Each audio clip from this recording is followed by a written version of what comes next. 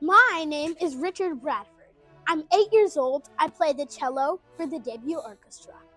How I got started on cello, like, it wasn't even my idea, it was my mom's idea.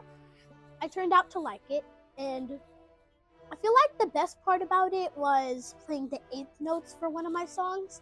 That's actually kind of fun. I actually thought it was going to be harder than it was. Uh, I love to sing, dance, and act. Uh, as a matter of fact, I got myself a job, two jobs. First, I was in a TV show over the summer, we were filming. And uh, two, I'm in a play right now at the Folger Theater. My goals musically is to become a singer, songwriter, and actor. And also, I'm trying to start a band. So, I have a bunch of songs recorded. Something I'm looking forward into the new year in 2024. Um, good question. I hope I get lots more jobs and have a lot of fun in the DCYO.